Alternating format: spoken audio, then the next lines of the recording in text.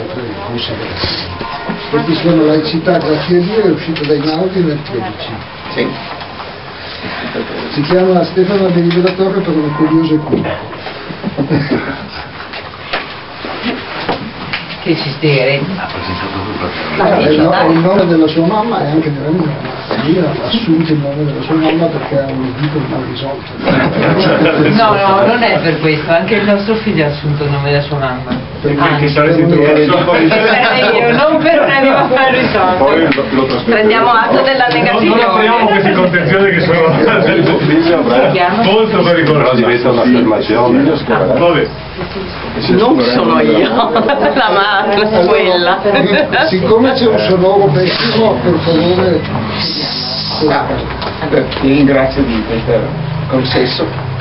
E, beh, comincerei con spiegare questo titolo, Laicità grazie a Dio, eh, che ha due fonti. Uno è un passo del libro di Giobbe che interpreta in questo modo, in cui non so se ricordate la storia di Giobbe, eh, dove di solito viene interpretato come la storia del giusto che protesta contro il fatto che gli succedono di tutti i colori senza che lui riconosca di aver fatto nulla, arrivano i, i suoi amici e dicono ma siccome Dio è giusto se ti succede questo qualcosa devi aver fatto, insomma, perché introducono quello che si chiama teodicea, che è uno degli aspetti più deleteri della teologia, che sarebbe quello di che, che Dio ha sempre ragione, sostanzialmente questa cosa qua è la, la teodicea funziona in questo modo. E, e lui dice no, non è vero, non è vero. Però io l'ho declinato in un altro aspetto questo libro biblico, e cioè un libro della protesta di Dio, perché a un certo punto Dio si arrabbia proprio contro questi suoi accoliti che continuano a sostenere che lui ha sempre ragione. Eh, la protesta di Dio consiste nel fatto di dire no, voi che cosa ne sapete di me, cioè io in realtà dovete sapere, confidenza per confidenza, sono mistero e quindi la vostra pretesa di sapere come funziono è eh, assolutamente de- deteriore. Quindi in questo senso dicevo Dio rappresenta una posizione contro il pensiero canonico religioso, cioè in particolare contro quella eh, deriva religiosa che si chiama teodicea, la giustificazione di Dio, e Dio si ribella praticamente, è un libro della protesta di Dio contro la teodicea, cioè contro il pensiero fondamentale della religione canonica. no? Allora in questo senso, grazie a Dio, eh, nel libro di Giobbe essere, il libro di Giobbe può essere interpretato come la laicità di Dio nei confronti, nei confronti di questo. E l'altra fonte di questo titolo, cioè laicità grazie a Dio, naturalmente è la, la barzelletta sono ateo grazie a Dio, che è un- una trasposizione diciamo, di questo motto. In questo libro cerco anche di spiegare diciamo, come, come nasce, come funziona questa battuta sono ateo, eh, sono ateo grazie a Dio. Eh, però la cosa dice più, per me più pregnante è un passo di- dello Zibaldone di Leopardi che secondo me è un, un passo fondante del pensiero laico come lo intenderei io. E adesso vi leggo questo passo dello Zibaldone e- ed è questo. È questo, vediamo. Allora dice, la metafisica tenete conto di questa parola, la metafisica, perché va a finire in un modo piuttosto sorprendente. La metafisica che va dietro alle ragioni occulte delle cose, che esamina la natura, le nostre immaginazioni ed idee, eccetera, lo spirito profondo e filosofico e ragionatore sono i fatti dell'incredulità. Questa è la metafisica laica, diciamo così. Sono i fatti della della incredulità. Ora queste cose furono massimamente propagate dalla religione giudaica e cristiana che insegnarono ed avvezzarono gli uomini a guardare più alto del campanile e a mirar più giù del pavimento, insomma alla riflessione, alla ricerca delle cause occulte, all'esame e spesso alla condanna ed abbandono delle credenze naturali, delle immaginazioni spontanee malfondate mirabile congegnazione del sistema dell'uomo, il quale non sarebbe irreligioso se non fosse stato religioso. Ecco, quindi qui eh, diciamo, la pregnanza, l'importanza di questo pensiero di Leopardi sta in molte cose, per esempio nel, nel riconoscimento storico che la laicità deriva diciamo, dalla religione, come, perché la religione è specie diciamo, questa rappresentazione di un'insoddisfazione riguardo alle spiegazioni diciamo così, semplici o alle evidenze no? e quindi questa metafisica che va dietro alle ragioni occulte delle cose lui la vede con questo criterio storico e già il criterio storico è una delle caratteristiche più pregnanti della laicità, del, del criterio laico. No? E, ecco, questa è una cosa. Poi l'oggetto di questa incredulità, di questa metafisica, è anche le nostre immaginazioni ed idee. Cioè lui presuppone che questo pensiero irreligioso derivante da, dalla capacità critica della religione e come critica della religione stessa, è capace anche di porre i nostri modi di pensare, i nostri criteri come oggetto di riflessione, quindi il pensiero che pensa a se stesso. Questo è diciamo, uno degli argomenti di questa metafisica di cui parla Leopardi. No? Quindi non, non, pensa solo alle cose della natura, che esamina la natura, le nostre immaginazioni di idee, eccetera lo spirito profondo e filosofico e ragionatore, quindi l'importanza della ragione in questo sviluppo di, verso l'incredulità, cioè lo smontamento di quelle che sono le immaginazioni malfondate dal punto di vista anche razionale. Ecco, questo qui quindi era, quando dice mirabile congegnazione del sistema dell'uomo che non sarebbe stato irreligioso se non fosse stato religioso, e per questo diciamo laicità, grazie a Dio, cioè grazie a Dio siamo arrivati alla critica del, dell'idea stessa di Dio. Cioè, queste sarebbero le motivazioni di questo titolo che ho posto. Ecco, poi eh, ho trovato diciamo, una citazione di, parlando di laicità, mi sembra elegante partire da Sant'Agostino, e, che dice questo, adesso non ve lo dico in latino perché sarebbe chic, ma siamo subito alla traduzione, che dice il comprendere è premio della fede, quindi non cercare di capire per credere, ma credi per capire. Ecco, questo eh, pensiero di, di Sant'Agostino mi sembrava che tracciasse, magari un po' schematicamente, quelli che sono i due vettori inversi del pensiero religioso e del pensiero non religioso. Io adesso abbrevi dicendo laico come non religioso, perché uno può sottilizzare, ci sono anche religiosi che sono laici, eccetera, ma lascio perdere diciamo, queste sottigliezze e parlo proprio dell'incredulità secondo Leopardi, cioè, cioè quindi lui dice, cioè cercare di capire per, non cercare di capire per credere, perché questo è un atteggiamento normale nostro, cioè se riusciamo a conoscere una cosa allora crediamo, no, se abbiamo fatto degli esperimenti, se abbiamo visto diciamo, alla lunga come funzionano le cose, ci sentiamo laicamente in diritto di credere che le cose siano vadano così. No, questo è. Mi dice no, invertite le cose, eh, è la fede che vi conduce alla comprensione.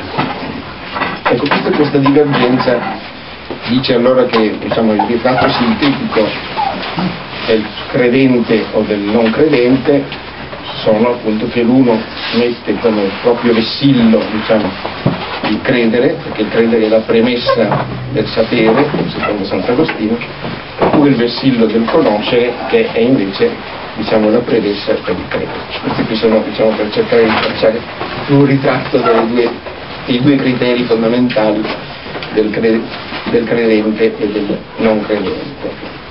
Ecco, questo per arrivare a una prima approssimazione della questione della laicità.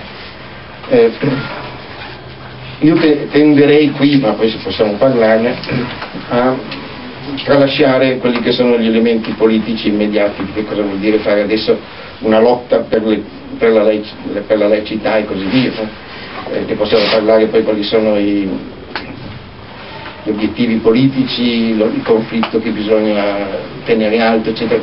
Cercavo di definire diciamo, quelle, una filosofia, chiamiamola così, della laicità, eh, quali sono i criteri mentali della laicità. Ecco,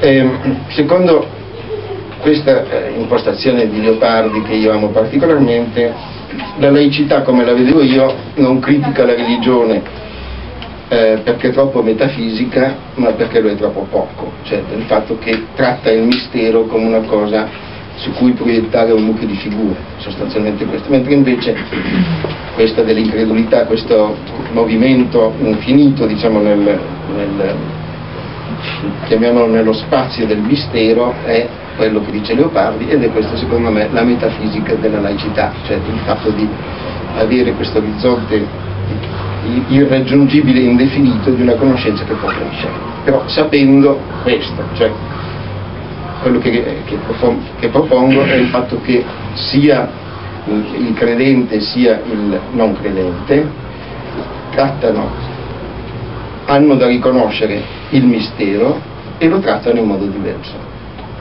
Cioè un mistero per esempio è cioè noi sappiamo anche attraverso la scienza sempre più come sono le cose, ma perché siano ne sappiamo tanto come l'uomo di Neanderthal e anche il bonobo, diciamo, ne sappiamo pochi, non, non abbiamo una risposta al perché tutta questa roba diciamo, in cui viviamo siano, quindi siamo di fronte al mistero e in questo mi ricollego appunto alla cosa dice Dio nei confronti degli amici di Giobbe che dice abbiate pazienza, io sono mistero, voi invece credete di sapere come funziona e questa qui è la cosa più blasfema che potete fare, quindi la religione è blasfema. Questo qui è diciamo, la mia interpretazione del libro di Giobbe dal punto di vista di Dio, quello che dice Dio sostanzialmente. No? Voi che seguite i canoni del fatto della mia giustizia e sapete come funziona la giustizia, Tant'è vero che il libro di Giobbe comincia con un'ingiustizia, cioè con un gioco d'azzardo no, di Dio col Satan. Vi ricordate no, all'inizio la scena si apre in cui Dio dice guarda che roba, no, servo Giobbe come bravo, eccetera. Allora il Satan gli dice, vabbè, buoni tutti, gli hai dato un mucchio di cammelli, un mucchio di figli, dei campi a non finire, è ricco, eccetera, se non è buono, e come diciamo sarebbe marcio fino all'idolo, no? Eh, mettiamolo un po' alla prova, no? Allora comincia a distruggere i figli, questi figli fanno una festa, di crolla la casa in testa, muoiono tutti e lui continua a essere a dire, dire eccetera. Allora dice, beh, dobbiamo colpire lui nella persona, no? ricordate questa sentenza, è una sentenza mirabile come dramma, lui lo fa ammalare, eccetera. E la moglie dice, no, smettila di dire che Dio è... E lui invece insiste, però insiste e vuole interrogare Dio. E questa qui è diciamo, la, la sequenza finché Dio dice, io sono il mistero, cioè, nella mia interpretazione è così. E, ecco, Ecco, il pensiero religioso, allora, la laicità come la intendo io, è critica la religione perché si accomoda, si accomoda a riempire, a proiettare in questo buio del mistero una serie di immaginazioni e si sente in un certo senso risolvere le cose in questo modo. Mentre invece il coraggio del pensiero laico è questa indefinitezza di orizzonte che è definita così, da, spiegata così da, da Leopardi nel passo che vi ho citato. Ecco, questo è eh, diciamo, il primo passaggio che volevo proporre. Ecco, eh, c'è una questione diciamo, eh, di, di che, che cos'è suadente, diciamo, particolarmente suadente nella religione, ed è il, la questione del senso. No, appunto Sant'Agostino diceva tu parti dal senso, cioè del fatto de, della fede, quindi sai qual è la sostanza delle cose, hai fede nella sostanza delle cose e quindi puoi sapere. Eh, è una cosa che vediamo anche nel, nel, in certa struttura del pensiero anche dei Chachamim ebraici, eh, ebrei, cioè, che io adesso vi faccio la caricatura dicendo da che cosa sappiamo che i cani hanno quattro zampe? Lo sappiamo perché c'è quel passo che dice la Bibbia dice, oppure nel Talmud, dice, il maestro Parditario ha detto i cani vanno con quattro zampe. Da questo lo sappiamo.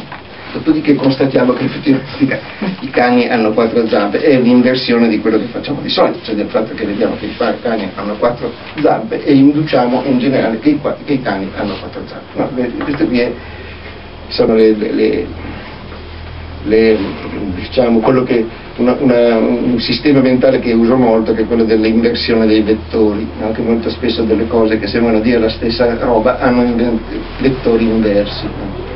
inversi, non inversi nel senso politico. Ecco.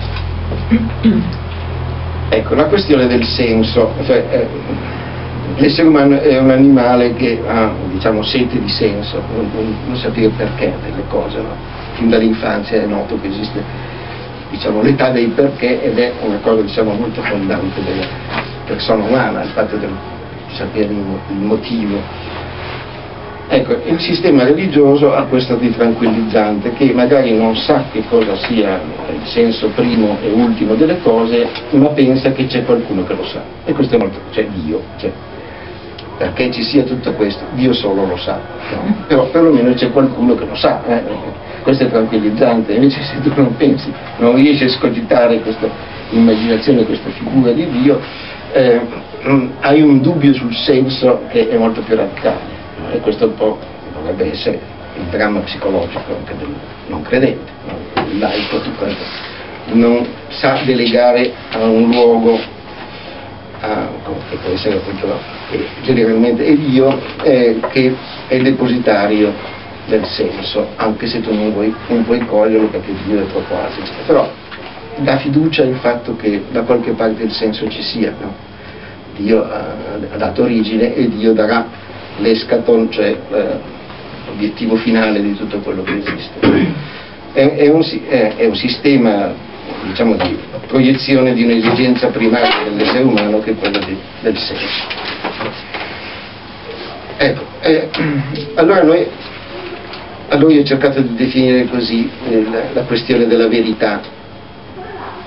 Questione molto controversa che però eh, siccome io amo gli schemi semplificati se riesco ad arrivare a uno schema semplificato sono contento. Allora mi sembrava di poter dire che eh, esistenzialmente la verità è quello che pensiamo essere la realtà dotata però di senso.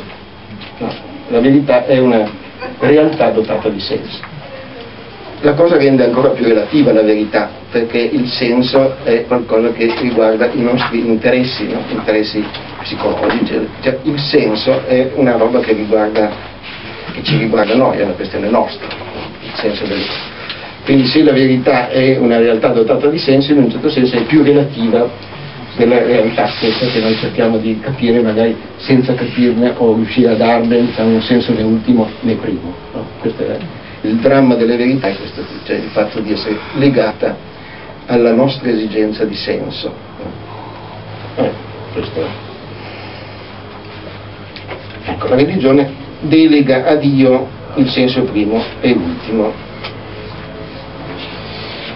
che Dio è l'inspiegabile in cui tutto si spiega. Questo qui è diciamo, più o meno il dramma della religione, che Dio è l'inspiegabile in cui tutto si spiega, in cui la, la spiegazione tautologica con se stessa. Si arriva a una specie di tautologia finale che... Eh,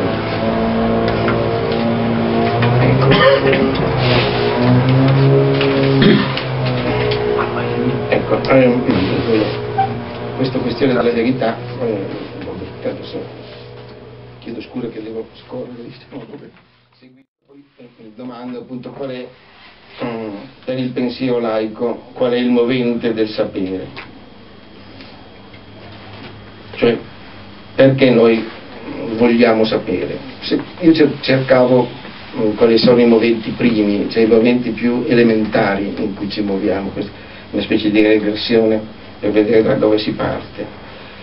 E pensavo che eh, siamo spinti al sapere in negativo per la paura del buio, in negativo per la paura del buio, cioè ehm, prendo come modello il bambino che è indotto a sapere subito qualcosa, quanto più presto può sapere qualcosa perché si trova, come tutti, nasciamo stranieri in quanto bambini, nasciamo stranieri in un mondo estraneo a noi, no? e c'è una necessità vitale di cominciare a organizzare i dati no? e sapere quindi è spinto dalla necessità di sopravvivenza, cercando di trovare diciamo, la molla più originaria no? del motivo per cui vogliamo sapere, per sfuggire dall'angoscia del buio, cioè la paura del buio secondo me è una grandissima rappresentazione di quello che è l'angoscia del non sapere. No? il buio è quello in cui noi possiamo proiettare tutti i nostri spaventi, le nostre paure, le nostre immaginazioni di pericolo che sono necessarie anche alla nostra sopravvivenza, cioè il fatto di sentire paura è eh, una necessità di sopravvivenza. no? se noi non, non fossimo senza paura eh, incorrerebbe continuamente i pericoli mortali, questo qui è legato all'istinto stesso di sopravvivenza. Quindi il negativo, il nostro desiderio di sapere, che poi diventa la scienza stessa, diventa il pensiero e così via, è spinto dalla necessità di uscire dall'angoscia del non sapere e dalla paura del buio. E poi in positivo invece è per riuscire a realizzare ciò che desideriamo. Qui mi basavo diciamo, su due pulsioni originarie assolutamente fondamentali che sono il movente del nostro, del nostro esistere.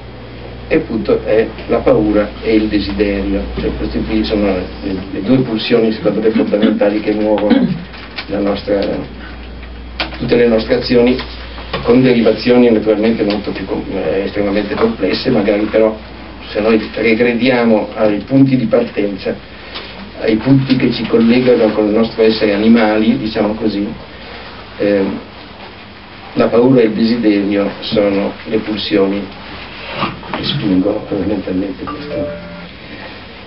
La paura e il desiderio, eh, che sono particolarmente potenti diciamo, nella, nel bambino, e che però sussistono in tutta la vita, anche se noi continuamente ci poniamo magari dei rimedi o delle censure, no? perché sappiamo già di più, quindi addirittura certe cose che inizialmente sono ehm, eroiche diventano abitudini, no? l'eroismo del bambino di cominciare a sapere delle cose e a connetterle, no? diventano poi dopo la tranquillità dell'abitudine che abbiamo capito diciamo, più o meno come funziona un certo intorno Ecco, paura e desiderio. La paura è quella che ci spinge a creare confini, confini sia intellettuali sia fisici e geografici. Cioè, vi faccio derivare un po' di cose da queste due cose, può essere arbitrario, però mi pareva che funzionasse. No? La paura è quello che crea confini, la nostra necessità di definire le cose. No?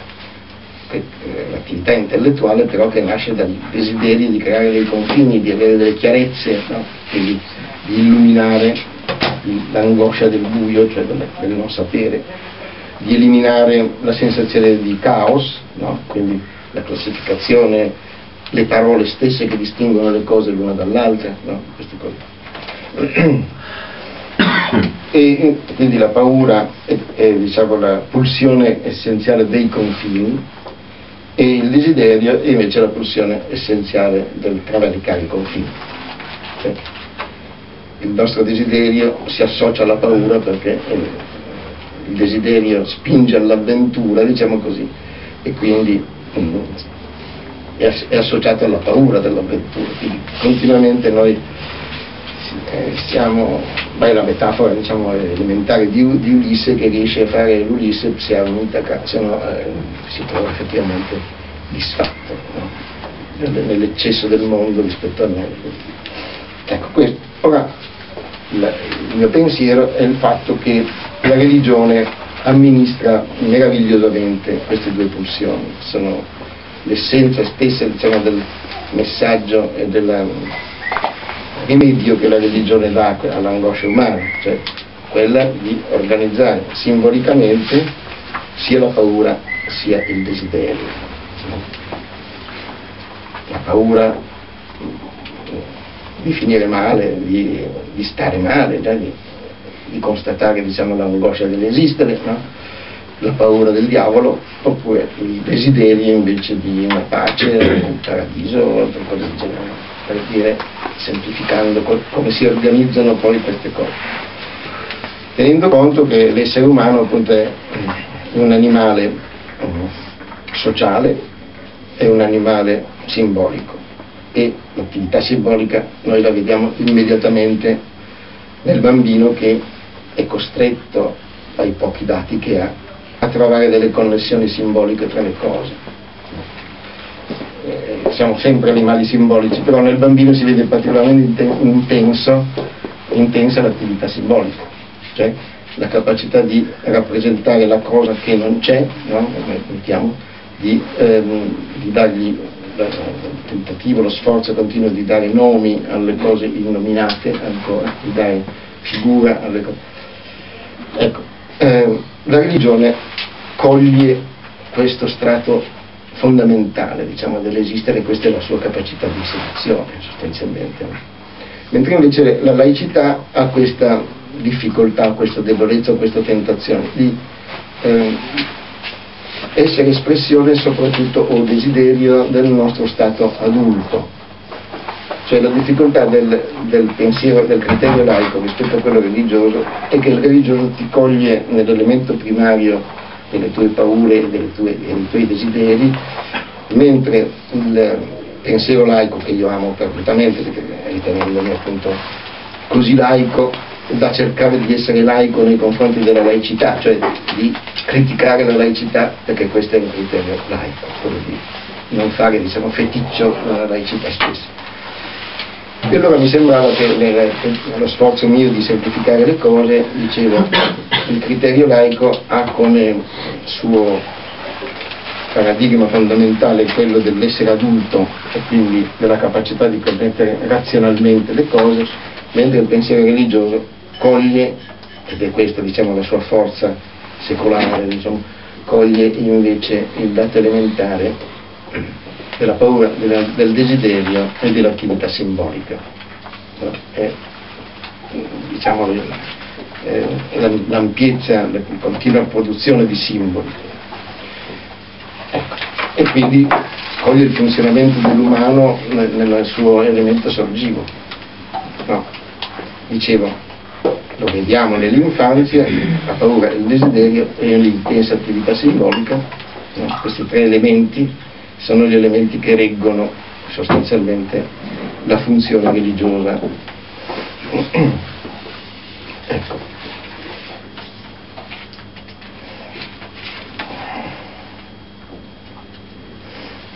Poi eh, naturalmente la, la, la, religione fa un'operazione um, molto classica, che è quello di dividere il bene dal male, no? cioè, è quello della teodicia, cioè di dire facciamo che Dio sia buono, allora ci vuole il diavolo per rappresentare.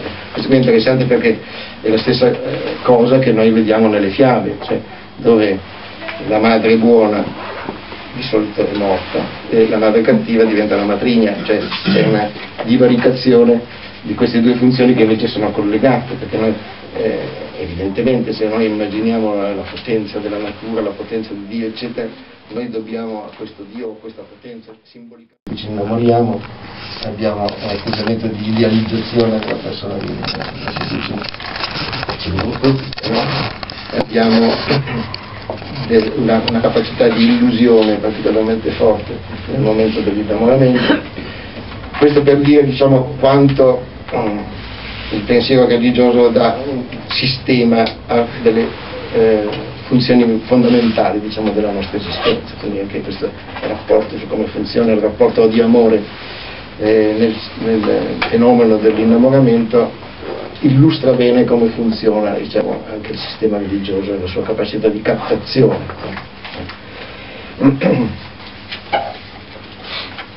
Ecco, la, dicevo, eh, il criterio laico ha come paradigma diciamo, la persona adulta e quindi diciamo, una specie di un atteggiamento particolarmente rivolto verso la concatenazione causale, cioè la razionalità. Questa è la questione. Quindi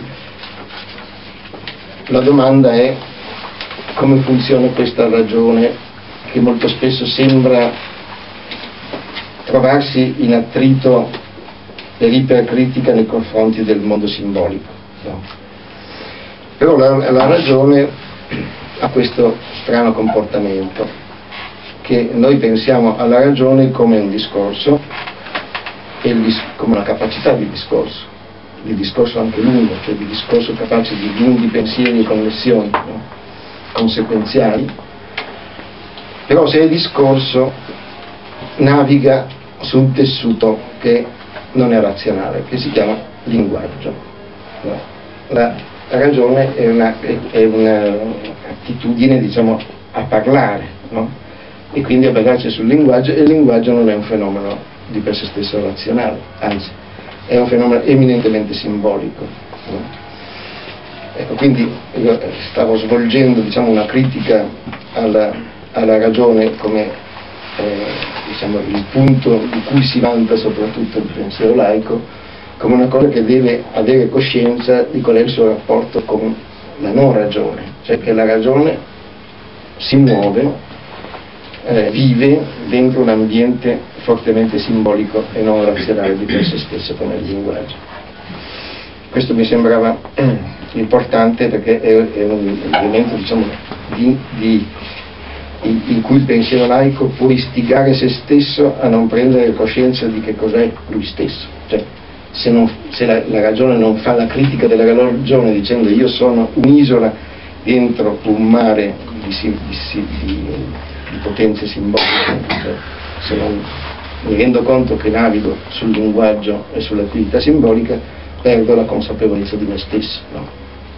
Questa sarebbe la critica che io rivolgo eh, a, diciamo, a, a, un vanto laico che eh, diventa fede nella ragione, cioè che il razionalismo ha a monte un atto di fede, cioè un atto di fede nella ragione. Allora questo è un elemento da criticare da parte del ragione e del laico stesso. Cioè, noi partiamo da un atto di fede che deve essere invece sottoposto no, a critica, sapendo appunto non soltanto questa cosa che dicevo del linguaggio, ma che i punti su cui noi applichiamo la nostra ragione sono scelti per passione, cioè non sono scelti razionalmente. Se io dico adesso faccio lo scienziato, allora facendo lo scienziato io naturalmente lì esplico il massimo possibile della mia ragion-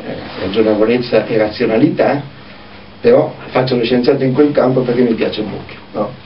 Cioè, fin da bambino volevo fare il chimico perché mi hanno regalato il piccolo chimico, mi è piaciuto moltissimo fare, scoppiare delle cose, vedere delle provette che fumavano, no? e quindi mi è venuto un amore appassionato per questa cosa e quindi ho scelto passionalmente questa cosa su cui applico la ragione. No?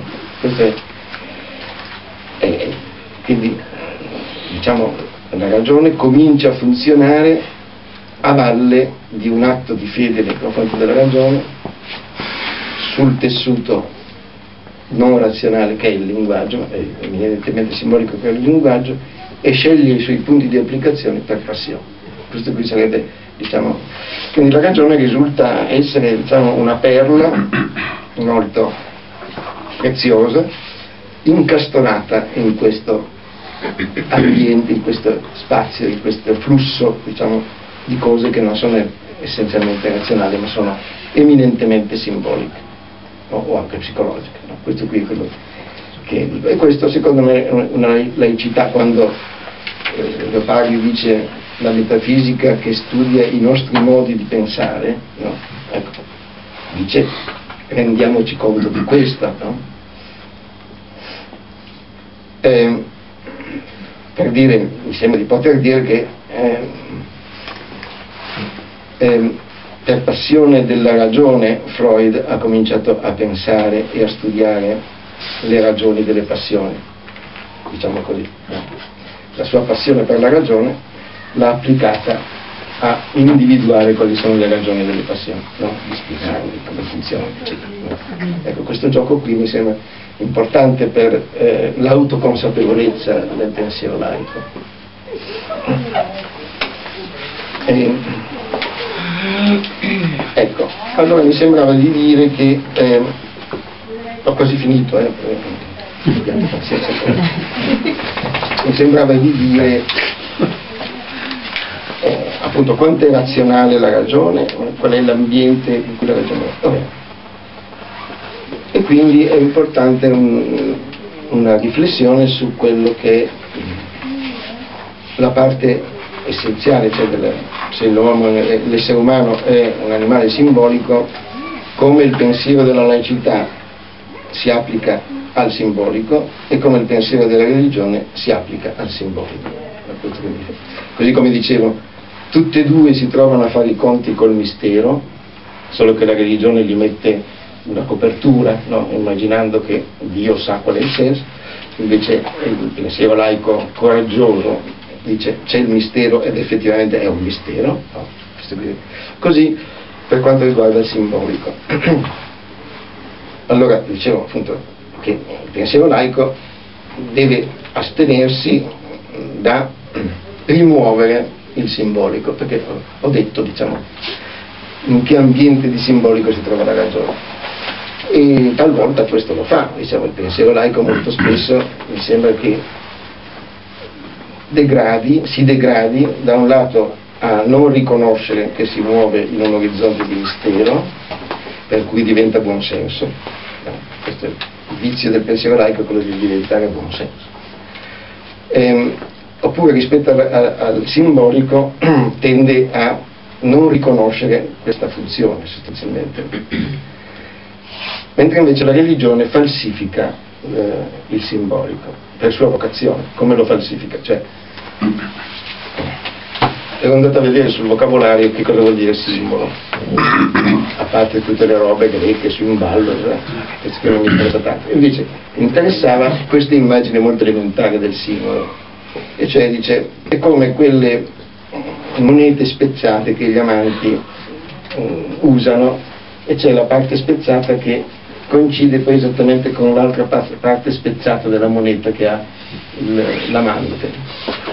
E allora vuol dire, cioè, ragionando sopra, allora come funziona il simbolo? Funziona dalla parte della sua dissolvenza e non dalla parte della sua evidenza. Cioè, questa moneta è simbolica per la sua rottura, nel lato della sua rottura, e non nella parte della sua interezza.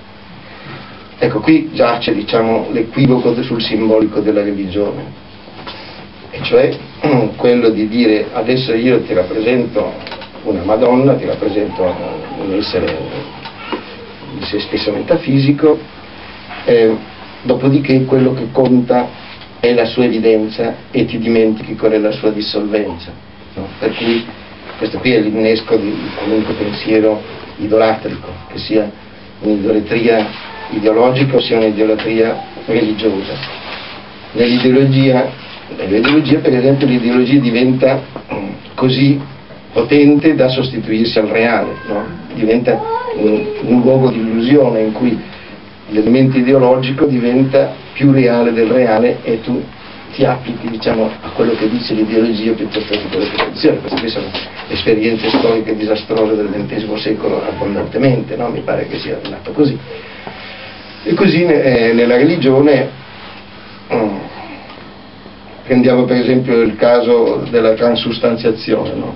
il nome bellissimo di questa cosa strampalata che dice che nell'ostia, nel vino c'è realmente il sangue e eh, il corpo di Cristo. No? Questo realmente è la desimbolizzazione dell'ostia e del vino, no? perché dice realmente qui c'è, cioè non è che ci sia l'elemento di dissolvenza per cui questo rappresenta qualcosa che è assente, no, è proprio presente in questo, questo è il meccanismo stesso della, dell'idolatria, cioè del fatto che il pezzo di legno in cui rappresenta il divino diventa divino, no? ecco questo qui è il, è il, metodo in cui il simbolico rovescia se stesso, no? nega se stesso, desimbolizza il simbolo. Questo qui mi sembra che fosse interessante ed è una cosa che noi possiamo avere continuamente nel linguaggio stesso, cioè in cui la parola che ha una dimensione simbolica molto forte, noi la prendiamo alla lettera invece che per quello che rappresenta l'essente, per esempio. Quindi questo equivoco del, dell'idolatrico è, continu- è, continuamente presente, è una, è una tentazione presente, cioè nel fatto stesso che noi siamo capaci di sostituire l'assente attraverso il linguaggio, no? questa stessa funzione che è importantissima per noi, per l'essere umano che parla, no? che, che, vive di, nel linguaggio e così via, questo ribaltamento per cui la parola diventa più reale della, della cosa che designa, no?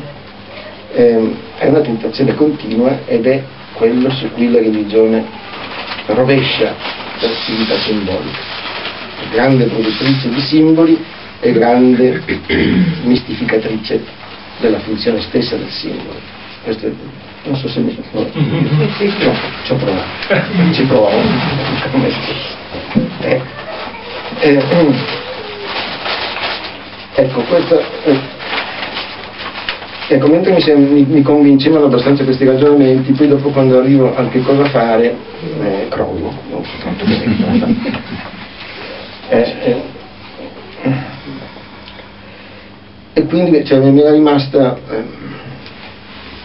mi era rimasta però un'immagine che, che, mi sembrava perlomeno per finire diciamo, in modo suggestivo un'immagine grandiosa che avevo in testa che è così. E cioè che era così questo è l'ultimo racconto che volevo fare per immagine.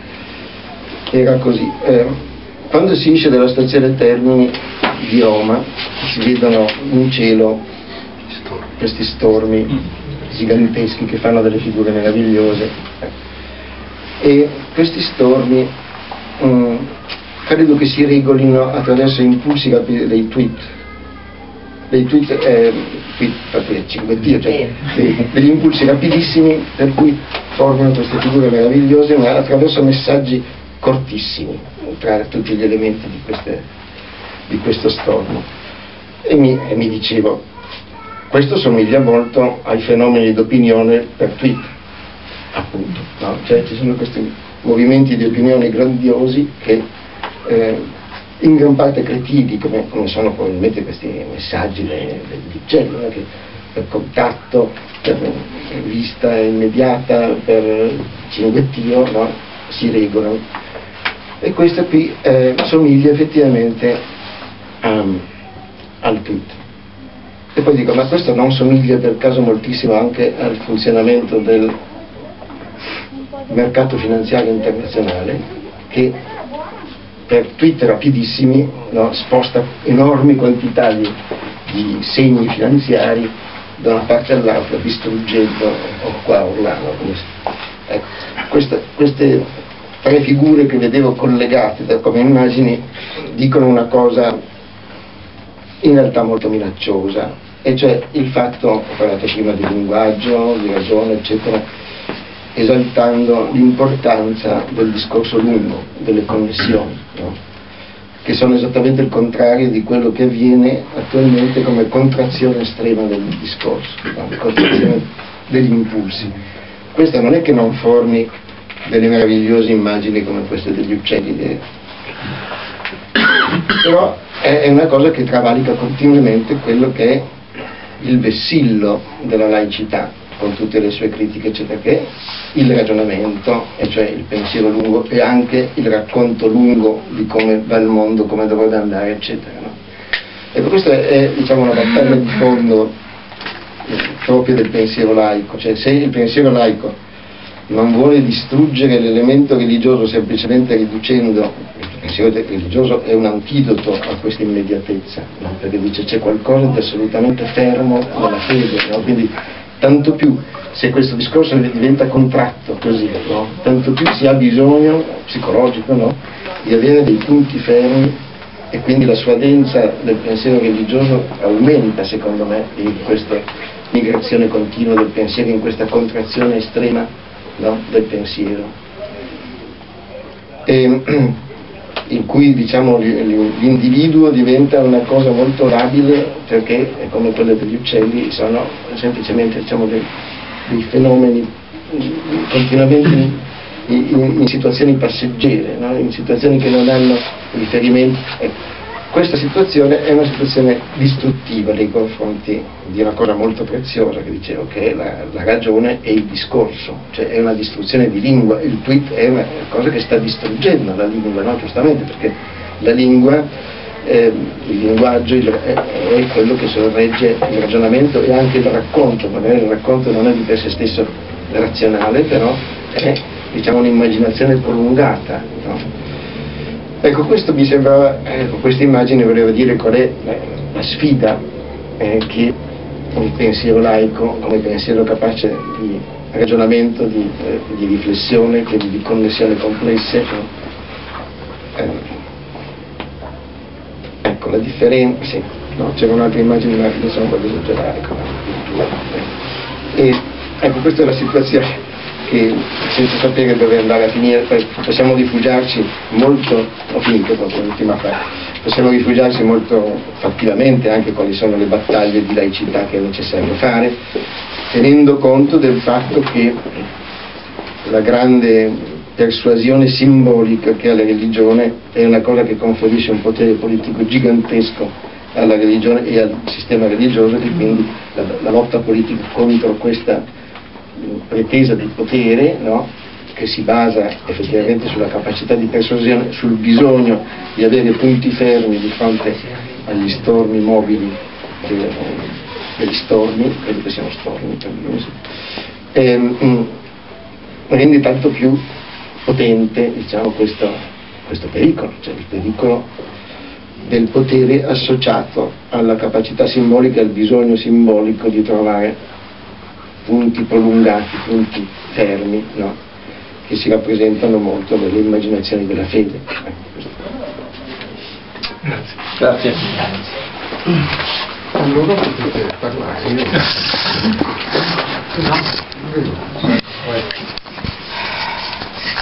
Devo fare una Sono cinque generazioni che non sappiamo neanche cos'era religiosa, ma non siamo atei. Semplicemente non sappiamo. Cinque generazioni da parti.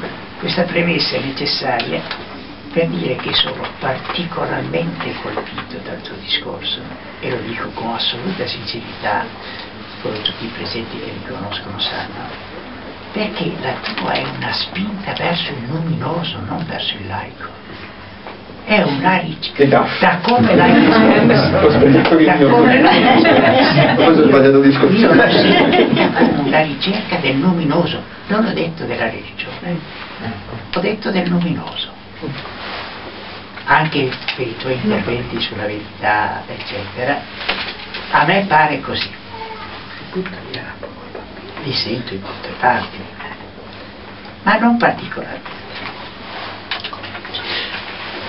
Anzitutto vi sento sul concetto di ragione, mi sento sul concetto di ragione in forma abbastanza tragica direi. Prendo una frasetta dell'Ottocento, dei primi dell'Ottocento, è la rise della raison. Ecco, io quella frase la interpreto, quella frase la interpreto come un'astuzia della ragione che se déguise raison. E come si, si, si, si maschera? Beh, eh, si maschera sostanzialmente nelle derivazioni paretiane, se accontiamo e raccontiamo agli altri delle cose che in fondo sono semplicemente dei labili discorsi. D'altro canto, eh, io vedo, eh, io identifico anche storicamente la laicità dal punto di vista storico. E vedo già tuo fratello armato fino ai denti, pronto a protestare. Lo lascio fare a lui. Trovo già meglio allora. Ecco, io intravedo i primordi di una forma ancora embrionale di laicità, per esempio in Enrico II, eh, post Plantageneto naturalmente, quando si appropria di alcuni beni di monaci e poi per, per essere più sicuro fa uccidere anche Thomas Becket, così siamo a posto. E lo vedo anche, ancora più fortemente, in Filippo il Bello, quando si appropria davvero dei beni e si oppone a Bonifacio VIII, cosa che ha rallegrato suppongo Dante se era ancora vivo, adesso non ricordo più. Allora, eh, la laicità mi sembra nata in qualche modo icasticamente con la coppia Arnolfini, con la coppia Arnolfini di Valaica c'è una coppia che si veste super elegantemente e si specchia in due specchi e in questi specchi si specchiano altre due persone lontane altrettanto ben vestite. La coppia Dolfini è praticamente il primo eh, ritratto laico di un laico che non sia un signore del maniero o ne sia la moglie del signore del maniero. Conclusione o quasi del mio discorso, i miei discorsi non hanno mai conclusione per la verità. hanno C'è sempre c'è un difetto è questo. Eh, le domande cioè, sono... Eh, non è che la recita sia un momento pregnante della borghesia che cresce e diventi ancora più forte nel XIX secolo quando effettivamente la borghesia prende definitivamente il potere. In sostanza non c'è nessuno più laico di Rastignac, tutto sommato. Allora io ho qualche dubbio, ho qualche dubbio perché ho visto, e, e sono vecchi vicini qui, ho visto, eh, specialmente dopo il 45, nascere delle religioni laiche che sono cadute, cadute spontaneamente, non è che qualcuno le abbia distrutte, sono proprio cadute. Allora, se le religioni laiche non sono un troppo, non sono un luogo comune, non c'è forse bisogno di un altro luogo comune molto più stabile e molto più definitivo? Anche perché, secondo Jung, su Giobbe, Yahweh attraverso quella condiscendenza di Giobbe, che in fondo era condiscendenza, si era un po' laici- laicizzato, anche se Satan da Elohim era diventato più cattivo di Satan. Vediamo se qualcos'altro ho appuntato. Appuntate tutto. Poi fare il secondo round. Franco per la prima. Io appunto sempre.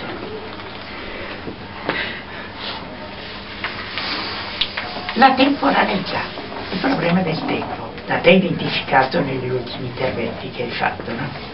Il problema del tempo secondo me è importantissimo ed è politico. Il problema del tempo è politico. Cioè, se il tempo si è ridotto a tempi reali, se la politica non dà speranze per il futuro, perché è secolare, è cupi- è cupida e secolare, beh, non sarebbe il momento di utilizzare qualcosa che ci facesse trasecolare? Qualcosa, non sapere, qualcosa che ci facesse trasecolare. Ricordo alla fine che due mangiapreti, Jung e Machiavelli, dicevano che un buon cittadino in qualche modo rispetta la religione e aggiungo io, la strumentalizza se può. Strumentalizzazione. Grazie. Io rispondo poi. Poi, ok, va bene. Altro intervento?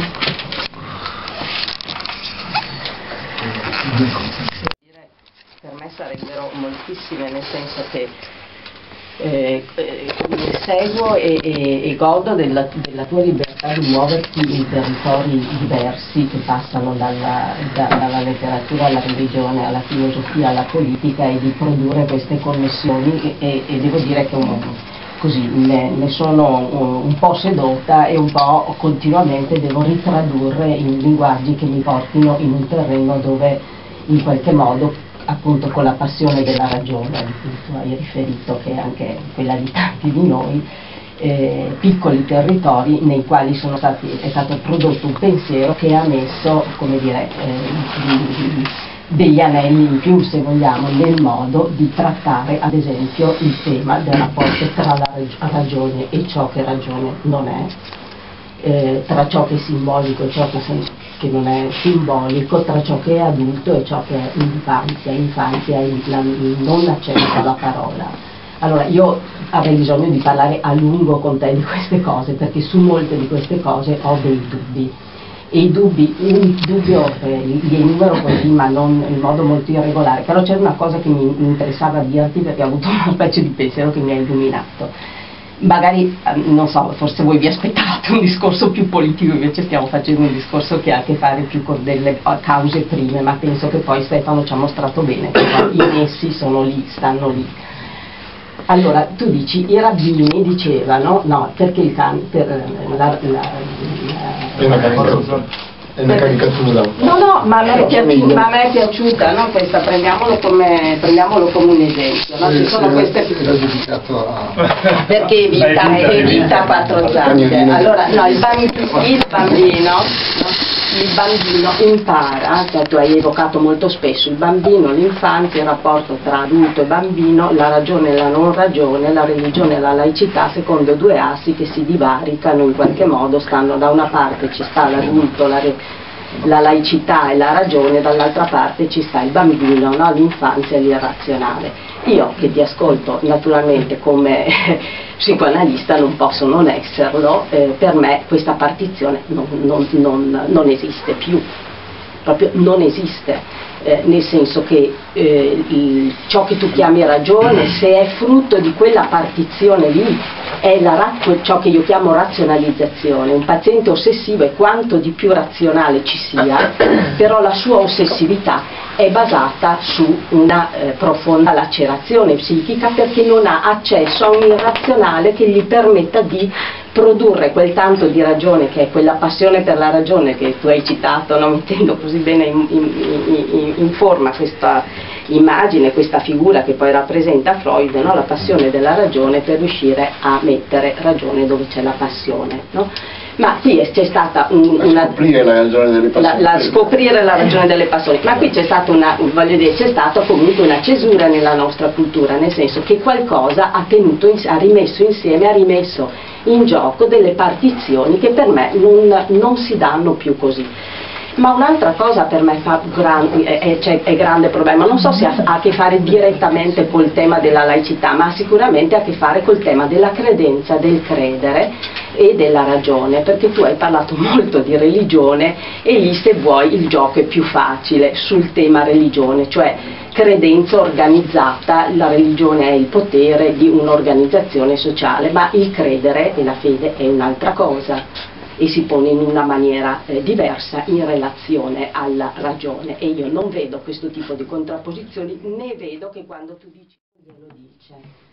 No, non l'ho detto così. È così? No, forse ho capito male. No, allora, no, no, voglio dire, è come se pre- pre- precedesse la, la conoscenza da parte del bambino è mediata o del, o del soggetto che, che deve apprendere o da- darsi una ragione del perché, c'è qualcun altro che dà preventivamente un perché, che dà una risposta prima che il bambino possa fare esperienza o che possa con la sua ragione arrivare a darsi un perché, anche dove non c'è perché, perché lì è tutto, si apre un'altra questione. Ma questo mi serviva per dire che quello che per me è difficile ehm, eh, pensare che non sia immesso è la funzione dell'altro, del di chi media, di chi media la verità, perché il bambino acquisisce la capacità di conoscere, perché, perché prima di tutto c'è un adulto che dà senso a ciò che il bambino espe- esperisce, perché il bambino che ho visto io due ore fa che è stato i primi due anni della sua vita in un lettino, in un istituto e non ha, e chissà chi ha mediato il, il mondo in cui è capitato a vivere, che è il mondo di tutti,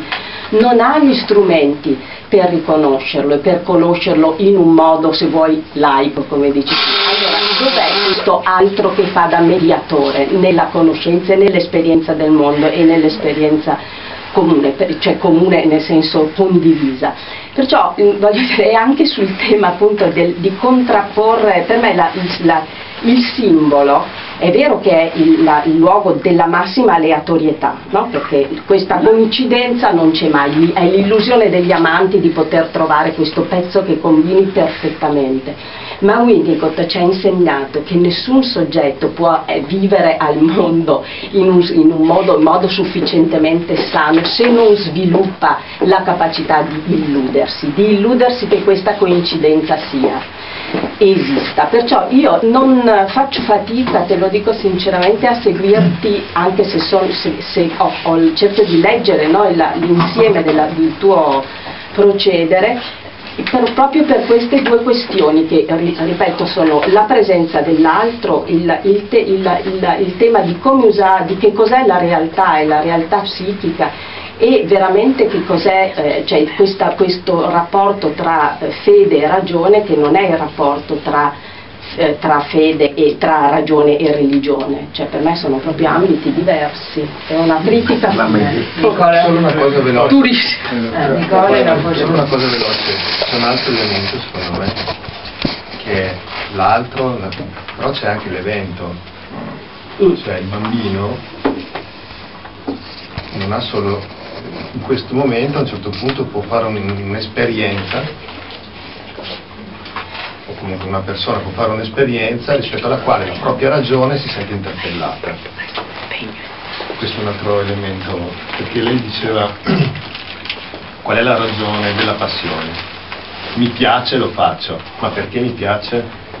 Quindi, che è ancora più profondo. In questo senso secondo me c'è un evento, no? c'è un, un mistero rispetto al Mm. quale uno si può stupire, può desiderare, può anche prendere paura, però comunque c'è un evento, in quelle- che rispetto a quell'evento lì, a volte, secondo me questo è un aspetto molto molto interessante perché è assolutamente personale. no? Non c'è nulla di religione, nulla di erotico, nulla di liceo, nulla di laicista nel senso di legalista, nulla di razionale. della- del percorso della ricerca, del liberarsi dalle passioni, sofferenza, eh, del non avere risposta e anzi dell'andare al di là dell'essere o del non essere, cioè eh, mi sembra molto laico questo buddismo per esempio, cioè, lo, lo- così, lo paralizzo un po' così, però eh, penso che sia molto importante perché sempre più avremo bisogno di aprire gli occhi le porte del nostro pensiero pensando a un mondo eh, plurimo, no? in cui la, la centralità de- de- della nostra eh, ragione occidentale è iscritta in quella storia così, così forte e pesante andrebbe messa in discussione o comunque andrebbero aperte degli spazi di... E, e sul buddismo francamente alcune cose che, che- che- che tu hai detto non, non- non- non le ritrovo. Ecco.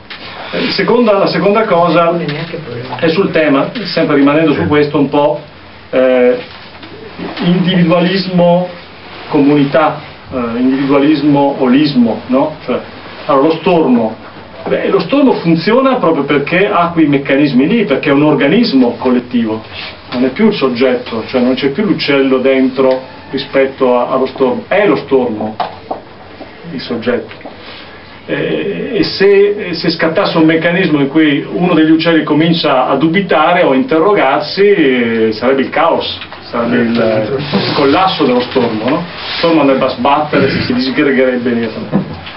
E, e così, voglio dire, funziona su tanti organismi collettivi, però gli Pensiero organismi- unico dello stormo. No, però- sì, il pensiero unico dello stormo, però la realtà, la realtà è fatta di una quantità di organismi collettivi che sono andati crescendo eh, per storie parallele, ma poi sono entrate anche. Eh, il problema della, della laicità, così descritta come mi sembra molto eh, appunto il bisogno che ci sia in qualche modo un uccello fuori dallo stormo, che rimane molto vigile, eh, che si interroga e che aiuta anche a pensare che se lo stormo decide in qualche modo di, di- di avere un progetto suicida, in qualche modo c'è qualcuno che potrebbe rappresentare una speranza di- anche per l'organismo, no? Eh, una sorta di, eh, di sentinella no? che, che- che dice anche lo stormo, ma insomma, c'è questa cosa di, che parla nella Bibbia. eh? La terza, la terza cosa è invece sul tema eh, attesa-ricerca, cioè questa, questa attesa dell'escaton, eh, de- de- della, della rivelazione. no? Del, eh, io per esempio mi ricordo quando ho sentito un paio di volte Sergio Quinzio, eh, qui a Venezia tanti anni fa, eh, lui il suo pensiero di, di ricerca, era, era una, una fede di ricerca, non era una fede, no? Ed era una fede di ricerca di grande tensione, eh, contro l'evidenza delle cose, no? questa cosa, della resurrezione dei corpi per esempio. no?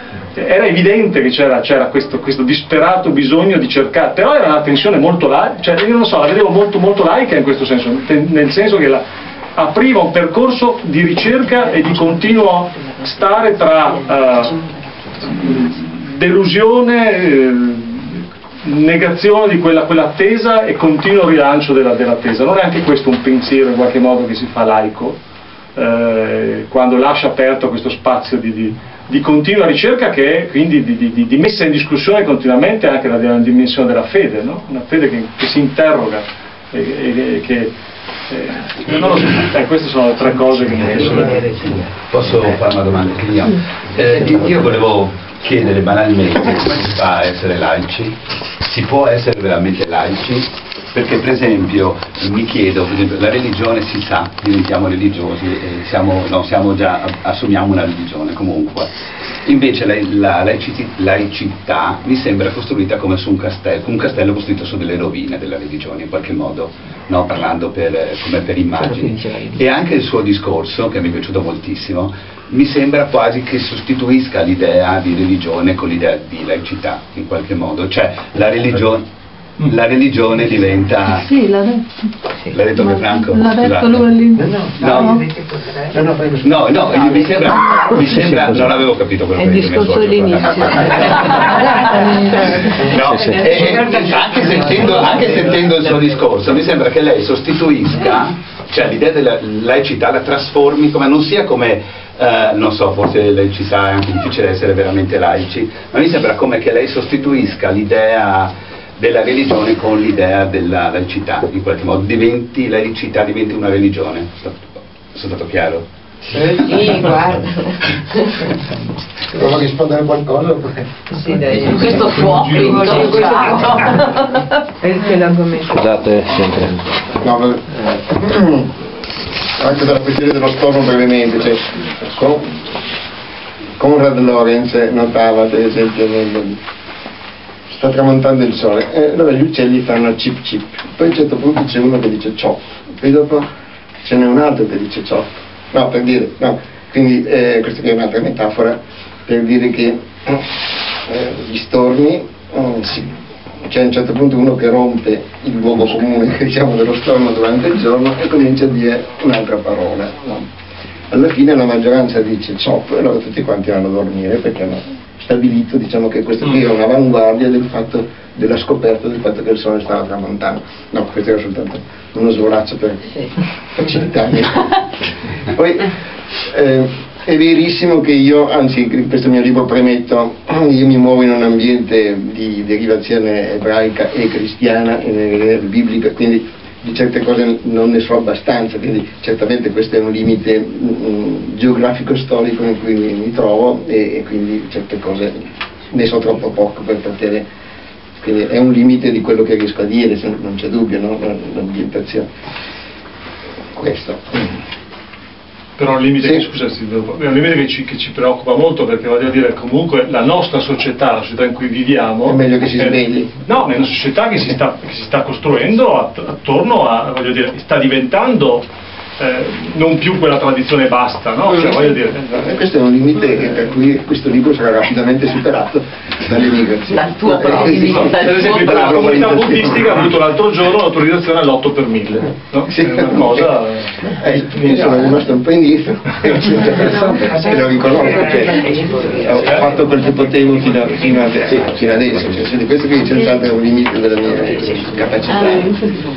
E di anche quello che riesco a dire e poi avevo anche messo le mani avanti dicendo adesso sto schematizzando per cui non parlo di casi mettiamo come quello di Sergio Quinzio però lo riassumevo nel fatto che persino un libro biblico cioè eh, come interpreta il libro eh, di, di Giobbe, persino Dio è laico, quindi anche, anche Quinzio diciamo Può essere. lo riesce- può permettersi di essere, nel senso che eh, eh, questo segno che viene di Dio può essere rappresentato sia come mm, eh, diciamo orizzonte irraggiungibile, quindi con questa sensazione del mistero che comunque permane, oppure invece può essere l'elemento di proiezione di cose che lo fermano.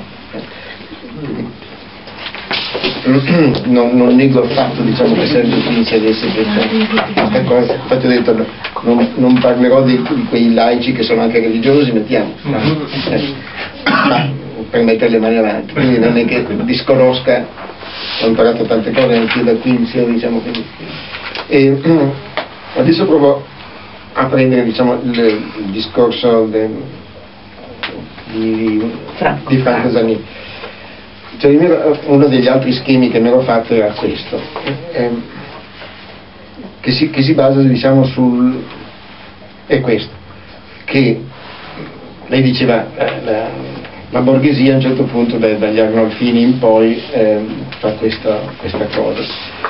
in un certo senso eh, la, il discorso borghese è qualcosa che eh, riesce a trovare a ragionare su degli strumenti, su delle capacità di intervenire sul reale particolarmente forti. In un certo senso è un, un atteggiamento storico in cui la, la, razionalità, che diventa poi dopo anche l'industrializzazione, eccetera, eccetera, eh, dà la sensazione di una capacità di controllo del mondo. Io ero partito sul fatto delle pulsioni della paura e, e del, del desiderio e eh, avevo detto una delle pulsioni della paura è proprio quello di riuscire a controllare l'ambiente in cui sei, lo facevo risalire addirittura a una pulsione essenziale per il bambino no? del fatto di precipitarsi a fare questo, cioè di dare, immaginare come funzionano le cose, naturalmente con la mediazione di, di chi glielo insegna, cioè il bambino è un assorbente, un imitatore, l'ambiente sociale in cui si muove è immediatamente quello del linguaggio, quindi non, non ho mai parlato di individuo isolato, cioè insistendo il mio discorso sul linguaggio lo buttavo immediatamente e sinteticamente sul sociale, cioè il fatto che il bambino impari imitando a parlare, questo lo inserisce in un ambiente collettivo e sociale che è rappresentato per esempio certamente dal linguaggio, cioè che qualcuno glielo insegna, qualcuno gli fa da mediatore nel sistema di significazione delle cose e della rappresentazione linguistica delle cose. Quindi è immediatamente sociale il fatto che il bambino impari a parlare, non è che impara a parlare una sua lingua particolare, impara a parlare imitando quello che fanno, si fa collettivamente. No, ma dicevo, quindi questa, eh, l'elemento laico che viene introdotto diciamo, dal, storicamente io lo vedevo come fortemente connesso a un balzo in avanti degli strumenti di regolazione del mondo, ehm, che crea anche l'illusione che tu controlli di più di quanto non controlli. Cioè questo qui è stato in, in, gran, par- in gran, parte l'illusione razionalistica. Mi è sempre parso molto significativo diciamo, il ragionamento che fa Voltaire quando succede il grande disastro eh, di Lisbona nel 1755 in cui hai voglia te dell'illuminismo, ragione, eccetera, di controllare le cose, poi ti succede un terremoto terrificante e ti rendi conto che, che non è vero. Però Ed è una delle... l'antisismica. Eh? Però nasce l'antisismica. Va bene. No, quindi, eh, ma proprio nel momento in cui tu hai sconfitto o, o, ti illudi di aver sconfitto gran parte dell'angoscia del, del, non sapere controllare l'ambiente in cui vivi, poi ci sono delle irruzioni diciamo, di realtà che eh, colpiscono proprio quelli diciamo, che sono stati i fautori diciamo, del fatto che adesso l'essere umano è più padrone di prima del suo destino, quindi ha meno bisogno dell'illusione codificata della religione, quindi possiamo passare con l'illuminismo a questo. Cioè, mi ho fatto un'idea che, che in vari cicli storici ci, ci, potesse essere una correlazione forte tra eh, la sensazione di avere il controllo strumentale, anche intellettuale e strumentale sul mondo, che questo inducesse un elemento di riduzione dell'elemento religioso e tutte le volte invece in cui ti trovi in una situazione storica più caotica, questo aiutasse e fomentasse invece un ricorso di nuovo al pensiero religioso. Cioè, che, ci, fosse questa correlazione qua, cioè, no?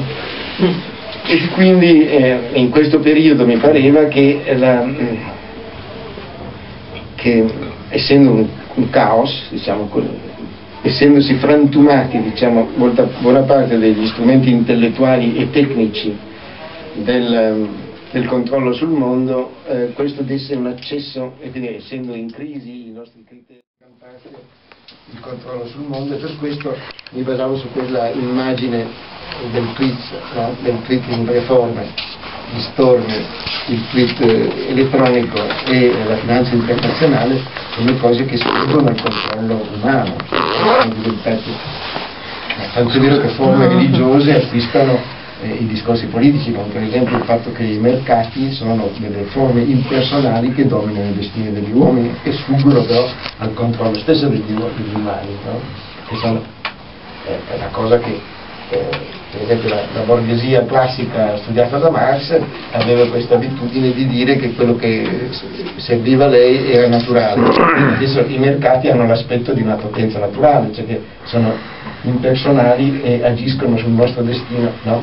Ci siamo da capo da questo punto di vista, cioè la feticizzazione delle merci in Marx e la feticizzazione e il feticismo eh, dei mercati o degli strumenti che fanno il mercato, cioè i tweet dei calcolatori elettronici che muovono eh, le grandi masse finanziarie. Anche se posso, se posso interrompere su questa questione della finanza, perché in realtà quello che succede è che c'è una sorta di separazione tra eh, una razionalità di un'elite perché esistono gli algoritmi che gestiscono mm. certe operazioni di movimento, di, di speculazioni, e la religione, che tra, con virgolette e senza virgolette, della massa. Sì.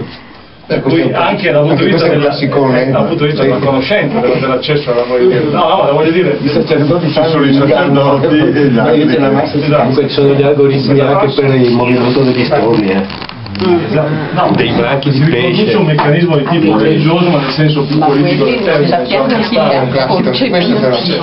Quelli sono codificati da, mil, da milioni di anni. Ma chi li ha concepiti, no? Appunto. Il caso che hai citato di scuola è molto interessante, perché ci sono tre pareti contemporanei sul terremoto. Uno è di Rousseau e questi sono periodi di laicizzazione, di secolarizzazione. E dei periodi invece in relazione a, a una caoticità nuova in cui l'elemento religioso si riaffaccia, magari non religione canonica, ma struttura mentale, diciamo, di tipo religioso, ehm, cioè di bisogno di un ordine ehm, simbolico che riassuma delle cose che non riesce invece a razionalizzare bene, no? Questo qui era il mio tentativo, un tentativo di schematizzare, per cui, per cui penso che ci sono diverse eh, situazioni storiche anche nell'antichità in cui c'è questa pulsazione diversa tra eh, massimo di religiosità e massimo di eh, razionalità a seconda della verità e illusione di controllo del, del mondo. No? Questo è il tentativo di risposta a questo. E tra l'altro sulla questione della catastrofe il mio grande maestro Giacomo Leopardi lo fa su Pompei, cioè lo fa nella Ginestra, ed esattamente è un pensiero laico di tipo anche metafisico, eh, ma profondamente laico, semplicemente dice libertà nucleare, oppure immaginate che questi che fanno queste cose vengono giù sulla terra a parlare eh, piacevolmente con, con voi, che è l'illusione religiosa, eccetera. Ecco, per quanto riguarda eh, eh, eh, quello che diceva eh, Roberta, prima di tutto io non penso, no, eh, ho, ho, detto che queste due pulsioni ritengo fondamentali, paura e desiderio, si rivelano particolarmente, in forma particolarmente intensa nel bambino, ma persistono per tutta la vita, quindi non, non stavo facendo una distinzione netta. Stavo dicendo soltanto che eh, negli adulti noi abbiamo costruito diciamo, delle forme, appunto che possono essere anche quelle della razionalizzazione, che corrispondono benissimo a questo fatto. Abbiamo costruito delle abitudini, no? compreso la razionalizzazione, è una forma di abitudine, cioè di applicare il nostro sistema di riparo dal caos, no? e quindi la razionalizzazione è un sistema di riparo dal caos, cioè del fatto che noi ci spieghiamo una cosa inventandoci la spiegazione che mette la forma razionale dentro una cosa che, eh, che, vogliamo controllare perché sennò ci travolge, così lo, lo, lo comprenderei. Quindi eh, la differenza dell'adulto del bambino non è nel fatto che non lavorino più queste due pulsioni, è che nel bambino sono praticamente potenti e la sua eh, necessità di simbolizzare particolarmente potente. Dopodiché questo la simbolizzazione magari diventa abitudine e diventa canonizzata nel piano dell'adulto. No? Eh, abbiamo nuclei di sistemi di sedimentazione di quelli che sono gli strumenti di riparo dall'angoscia del caos. No?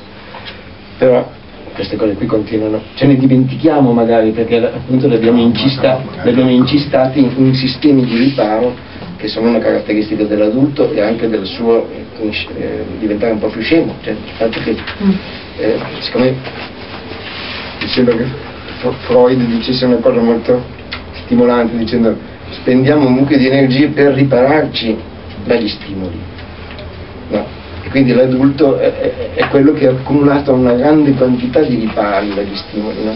mentre invece il bambino è ancora molto esposto e per questo vediamo in lui non perché è infante, ingenuo, eccetera, ma semplicemente perché è, è più legata la sua eh, necessità di simbolizzare, di imparare a parlare, di darsi un'idea, a uno stato di necessità, e più direttamente, no? Cioè, in quanto straniero in un mondo straniero, no? in quanto uno sbarcato no? da, da- da- da barche in pericolo diciamo, su questo mondo, ha immediatamente più fortemente, più, eviden- mette più in evidenza, no? lo vediamo con più evidenza, la sua necessità di organizzare quanto, i, po- i pochi dati che ha di connettere. no? Quindi vediamo una cosa che noi per fortuna abbiamo continuamente fino alla morte, però diventando adulti abbiamo dei sistemi codificati di riparo che abbiamo? Quindi non facevo questa distinzione. E invece sulla realtà psichica, cioè, ecco, a me pare che un- una delle, delle grandi fatiche della laicità è quella di riuscire a considerare il funzionamento psichico come, come una realtà, ma al tempo stesso quello di combattere la, la sua cristallizzazione quando è in contraddizione con la realtà. A me pare che questo sia un, un lavoro di laicizzazione diciamo, particolare, perché è vero che la religione ti dice la transustanziazione è un fatto reale, no? A me pare serio però quello di dire no, è un fatto simbolico e quindi come tale non devi credere che sia realmente questo. Cioè mi sembra che la critica laica alla religione sia questo, cioè questa è una creazione di illusioni, noi abbiamo tutto il rispetto per le illusioni perché senza illusioni non viviamo. No, io dicevo per esempio Ma fermati un momento, volevo solo ricordare una cosa. Eh, Lutero e Zwingli un giorno si sono incontrati e hanno discusso della transustanziazione. Eh, Lutero diceva è reale e Zwingli diceva no, è simbolico. Allora Lutero si è talmente incazzato che ha preso il coltello che aveva al fianco e l'ha piantato sul tavolo davanti a Zwingli interrompendo i rapporti con lo zwinglianesimo. Cioè sono due cose diverse obiettivamente. insomma. Sì. Scusa, ma mi ha sempre impressionato questa storia. Del coltello. Dobbiamo parlarne quando nel, cos'è, nel 1917 nel 2017 avremo le 99 tesi di Lutero da sarà, sarà bello ri- ri- riparlare del, del coltello di, di Lutero nella commemorazione. E, no, mi pare appunto questo che uno delle- dei compiti della laicità è quello di ehm, sottoporre a critica l'illusione, però al tempo stesso sapere laicamente che l'illusione è essenziale. Cioè, dicevo, se, non- se le civiltà non avessero avuto l'illusione di un tempo lungo, per esempio, non avremmo piramidi, cattedrali, cioè, è una cosa interessantissima il fatto che le cose più belle del mondo siano nate su un'illusione, no? Cioè io notavo per esempio il fatto che la Divina Commedia, che è una cosa che non sono molto originale ad amare ripetutamente, eh, si basa su un'idea completamente strapparata che è l'immortalità dell'anima, no? Però se non avesse avuto questa idea noi non avremmo la Divina Commedia. Eh, Quindi eh, questo qui è il terreno difficile della laicità, cioè quello di riuscire a capire laicamente l'importanza vitale dell'illusione e continuare a corroderla. E questo qui allora qui c'è questo passo ancora del mio Leopardi che, che trovavo veramente meraviglioso, che Leopardi diceva questa cosa. Le illusioni non possono essere con- ehm, condannate, spregiate, perseguitate se non dagli illusi. E quindi il mezzo filosofo combatte le illusioni perché appunto è illuso, cioè non capisce l'importanza vitale dell'illusione. no? Il vero filosofo le ama e le predica perché non è illuso e il combattere le illusioni in genere è il più certo segno di imperfettissimo e insufficientissimo sapere e di notabile illusione. Mi pareva bellissimo. Questo non toglie, a me pare, quello che dico, però la- l'acrobazia laica è ancora più audace perché combatte le illusioni sapendo che l'idea di eliminare le illusioni è una cavolata pazzesca. Ed è, un'illusione di per sé stessa. Ma l'uso politico che si fa dell'illusione, questo è anche un punto importante. L'illusione- sappiamo qualcosa. l'illusione di- Però al tempo stesso se tu non hai un orizzonte di, di speranza anche pieno di infa- che può essere infarcito di illusioni, non combini un cavolo di niente. Questo è il problema. illusi allora, cioè siamo... Eh, questo, è il problema, questo è un problema. Siamo nel mondo di un Non c'è niente di male ad avere del- un'area di illusione nella Comunque così c'è se non ce l'abbiamo siamo degli aristoteli, la nostra psiche si riduce a, a una- un'idea della vita che è solo come dire, una reazione di causa-effetto, l'area dell'illusione è un'area, è un'area dove nasce l'arte, la creatività, Certo, anche la creatività politica, Ecco, bisogna, creatività, ma illusione è, è il, ha un termine un po' negativo. No, no, no, appunto, Eh, no, no, eh, eh, No, infatti illusione è negativa. questo è un Eh, problema. è E il linguaggio, eh? il linguaggio è simbolico. Ah, eh, No, no, dai. io, io mi trovo un po' male eh, perché state usando il linguaggio che stiamo facendo come regolare esperienze culturali per cui eh, volevo fare soltanto però una domanda eh, questa storia di Giobbe che stasera mi riprenderò la Bibbia una delle traduzioni della cena la rileggerò. Di Giobbe che è una cosa che mi ha un po' colpito perché mi frullava un po' la- non è che almeno nella sua interpretazione Dio sta dicendo agli uomini ma eh, cosa mi mettete a fare teologia? Io sono inconoscibile da voi e, e un po' questo ho interpretato bene, è una cosa che è la presunzione no, anche che hanno tutti rabbini, imam, preti di io so cosa è giusto, cosa vuole Dio. Un po' questo è il discorso, e c'è nella Bibbia. mediazione. Sì, no, questo dicevo, cioè che gli amici di Giobbe rappresentano il canone più elementare del religioso, cioè quello che dice Dio ha sempre ragione e quindi tu sei peccatore. Sì, cioè, se te, te la sei E Dio dice, non ha fatto vero, cioè Giobbe è molto meglio di voi che invece voi siete ruffiani nei miei confronti. Cioè, dice, dice, la religione è una ruffianata nei miei confronti, questo dice il Dio, il Dio di Giobbe. È ora di finirla. Dopodiché se non vi punisco gravemente, finisce così il testo di Giobbe, se non vi punisco gravemente è semplicemente per onorare il mio, eh, il mio Giobbe. Eh, grazie a Giobbe insomma fate un sacrificio e ve la cavate se no se non era per Giobbe mi vedevate che ero quindi lui si arrabbia proprio contro eh, uno dei pensieri più razionalizzati della religione. Razionalizzati vuol dire questo che il, il pensiero di questi amici di Giobbe è questo.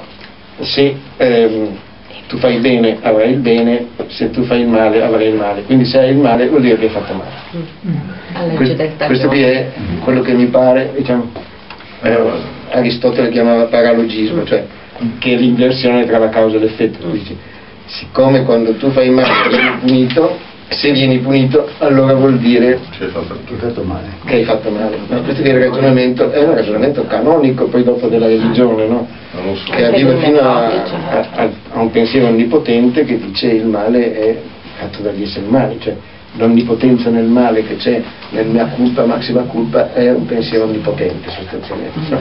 Il male deriva dagli uomini, eh, tutto il male cavolate che però fanno parte proprio del pensiero canonico della religione e del desiderio di incolparsi per scagionare Dio come se Dio fosse un, un, un minus abens, no? perché se non ha nessuna responsabilità nel male, perché, o perché è un infante che non sa diciamo, quel che combina, oppure è un vecchio decrepito che è- no, non, no, non sa più intendere e volere, io lo proteggo, quindi c'è questo non è onnipotente. Oppure c'è il manicheismo, che eh. Comunque quella cosa che irrita Dio, secondo la mia interpretazione, è il paternalismo della religione nei confronti di Dio. No, ti proteggo io, no, ti, ti- ti difendo io. No, allora dire, è molto nervoso Dio di questa cosa qui, per cui condanna questi suoi avvocati. No? Eh, gli amici di Giove non avevano torto però, perché non potevano immaginarsi che fosse una scommessa tra lui e e Satana. Però applicavano un criterio a priori dicendo che le cose funzionano così. Sì, per cui se uno ha hanno lasciato perdere la possibilità che fosse anche qualcosa d'altro, oltre alla responsabilità. Tutto ciò che non sapevano che dato gli amici di Mi Giove. pare però che sia rimasto un loro non sapevano che era una scommessa tra Dio e Satana. Parliamo Partendo dal fatto che il Signore era Dunque, mi pare che fosse un equivoco sul, concetto di, di illusione, specialmente tra te e Roberta. Cioè, eh, Roberta era troppo positiva a fare sull'illusione. l'illusione. Il tuo discorso sull'illusione merita però una divisione. Tu hai parlato di alcune illusioni in sé positive, che sono il futuro, per esempio. Costruiamo una piramide. E invece ci sono delle illusioni come la religione che eh, dobbiamo accettare che esistono come, come fatto, ma allo stesso tempo dobbiamo pian piano mettere in discussione come, come, come discute Freud nel futuro dell'illusione. Insomma. Eh, allora dovresti parlare un attimo di, di una biforcazione dell'illusione. Ci proverò. Generale, Eh, sì, no, no, io volevo soltanto eh, chiedere, eh, prima si è parlato di discorsi brevi, eh, tipo, eh, tipo i tweet, tipo forse di slogan anche, e i discorsi lunghi.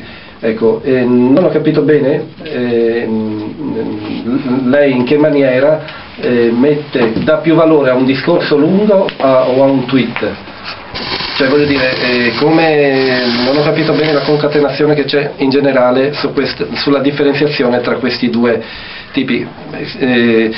Eh, eh, secondo me è qua che dovrebbe essere posto l'accento sul linguaggio, no? sul linguaggio che non è completamente razionale, eh, anche se viene usato eh, dalla ragione, anzi la ragione crede di avere eh, la, la proprietà assoluta sul linguaggio, invece la parola, ha, eh, eh, io non parlo per esempio molto bene in genere, ma la parola, eh, perché penso che la parola abbiano dei, dei significati e delle pregnanze molto profonde. eh, che devono essere riscoperte diciamo e che nel linguaggio che si usa adesso eh, anche informatico eccetera non, non viene no niente era questo volevo chiedere qualcosa riguardo questo Quindi, cioè, una, rispondo a queste due domande se, se, se, se riesco, che mi sono cacciato nel guaio ovviamente, siamo qui per questo. Cioè, eh,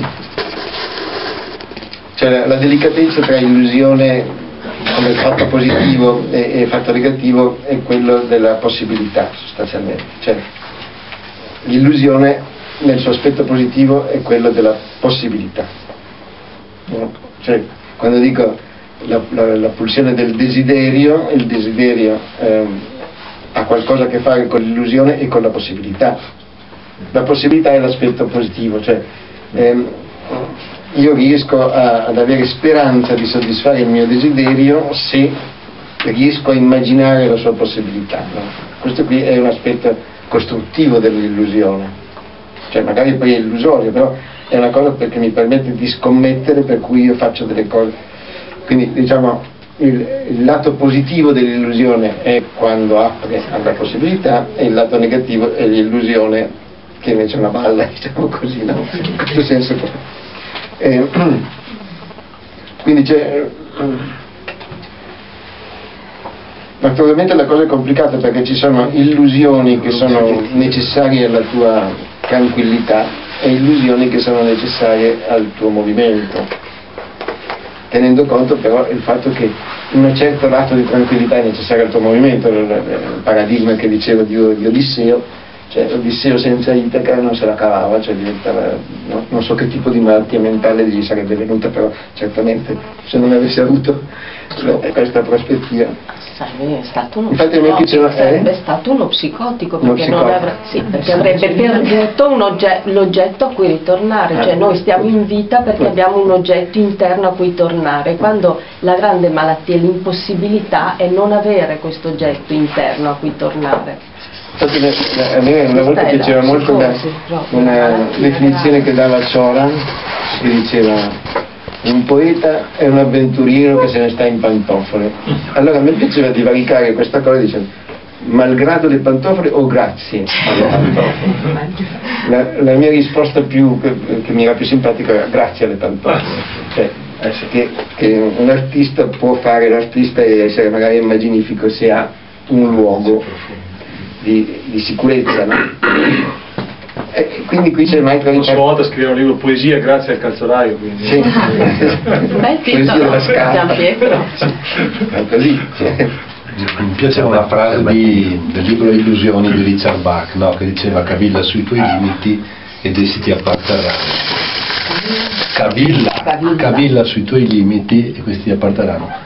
Eh, mi sembra un po' che questo di cavillare su, su certi limiti sia proprio la caratteristica di molti laici, nel senso che cercano di trovare una spiegazione su, su tutto e poi si involgono, involvono dentro loro stessi. Eh, la cosa che mi, fa- mi- mi- mi faceva sorridere prima quando pensavo che alla fine tutte queste persone molto laiche alla fine poi si sono trovati costretti a ricercare la particella di Dio, no? Cioè delle persone molto razionali, molto, molto, molto laiche, alla fine stanno cercando qualcosa che può essere sia un'illusione che, che, Che un'intuizione. Siamo lì, adesso mi pare che nostro fratello che è fisico forse cercherà di No, nostro fratello. Ah, un altro fratello No, cercherà un altro. Ah, un altro, Ah, non scusa, pensavo. No, no, nostro fratello che è un fisico.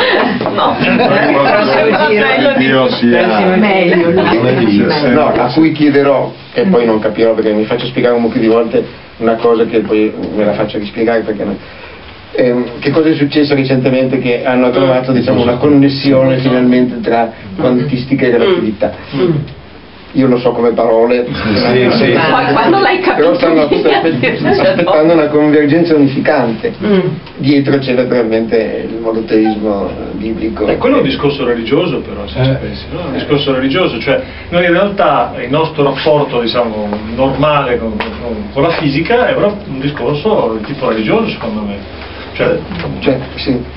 È la ricerca della spiegazione di ma Dio. certo, È la la ricerca ricerca di della cause spiegazione. che Sì. sono sempre più uni- Sì, no, ma voglio dire, la- il nostro accesso al sapere, alla conoscenza, è talmente ormai lontano, è talmente separato, che abbiamo un rapporto eh, Ah, psicologicamente tipo religioso, che è esattamente quando io accendo la televisione, è un rapporto magico, spingo il pulsante, cioè spengo, accendo il pulsante, in realtà non ho nessun controllo, nessuna capacità di sapere cosa accade dentro quella scatola perché produce un'immagine. sto più occupato di cui c'è come è organizzata la conoscenza Ah, sì. No, mia, la- la mia propensione è per la possibilità di fare discorsi prolungati e connessi e vedevo come pericolo invece questa degenerazione che è veramente l'e- l'elemento di massificazione no? Cioè, eh, il mio ideale non sono questi stormi di uccelli dico soltanto che sono magnifici come figura ma eh, il mio ideale sarebbe quello di riuscire a tenere diciamo, il discorso che ha connessione questo è, Sì, sì, sì, infatti. cioè, diciamo il mio ideale è quello delle, delle gru invece che quello degli storni, perché le le gru quando volano fanno delle strutture geometriche fantastiche, magari ramificate più volte, no? Eh, quello lì vuol dire una capacità logica della migrazione della gru, quindi forse i miei ideali intellettuali non sono altissimi, cioè si, si limitano a camponieri oppure storni, però sono due paragoni delle immagini, e formano delle strutture geometriche, cioè delle capacità quindi di connessione basandosi eh, sulla logica delle correnti d'aria che si creano dei porti. No, questo è uno scherzo. Comunque la mia propensione è la possibilità di mantenere i discorsi connessi e anche racconti, diciamo quello che si dice alla moda, narrazioni, no? Che mi sembra seria la cosa, anche se è diventata di- piuttosto che dei, dei brevissimi impulsi così.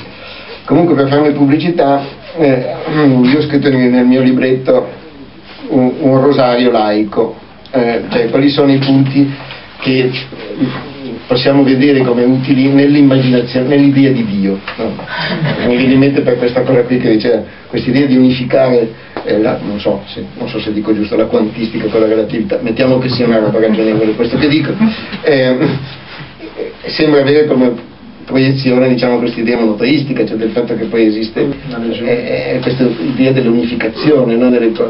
E questo disagio di sentire invece delle leggi fisiche che siano separate e che, se- che non si incrocino. Eh, quindi ho fatto un rosario laico su qual- quali sono cose serie che sono rappresentate simbolicamente nell'idea, nell'idea di Dio, da parte di uno che non crede diciamo, in Dio, ma crede nell'importanza dell'idea di Dio, cioè quali sono l'imma- l'immaginazione dell'unificazione, no? è un'immaginazione interessantissima, no? E questo, eh, quindi ho fatto cinque punti di rosario laico. non ci leggi. Esattamente. Ci lascia la Eh, non vi leggo- non vi leggo la- allora eh, dice così nel primo mistero si contempla nell'idea di Dio la rappresentazione della necessità poi dopo, nel secondo mistero la rappresentazione della necessità cioè il riconoscimento di cose che sono Ehm, a cor- a corollario del primo, nel secondo mistero si contempla la rappresentazione dell'idea di Dio del problema della libertà, cioè quindi della possibilità. La terza rappresentazione fa da contrappunto al primo, e cioè quella della possibilità. Nella quarta rappresentazione Dio ci appare come sentimento del tempo, risonanza dell'eterno nell'istante. no? Quindi eh, eh, questo qui è importantissimo eh, che noi sentiamo, l'illusione del fatto che noi viviamo sempre, no? ce l'abbiamo in ogni momento, se non avessimo questo, se non avessimo la fede del fatto che tra cinque minuti siamo ancora vivi, non faremmo una riunione. no? Quindi questa proiezione è, è così, no? Nel quinto mistero si contempla nell'idea di Dio, cioè non in Dio, ma nell'idea di Dio, cioè eh, eh, l'idea di Dio è il simbolo di questa cosa, la rappresentazione dell'alterità, cioè di qualcosa che è completamente fuori eh, da